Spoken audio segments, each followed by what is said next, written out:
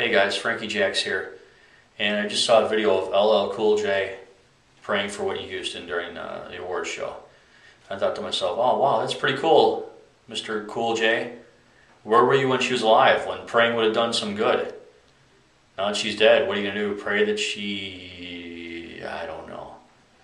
No idea. Not going to do any good. Good for you.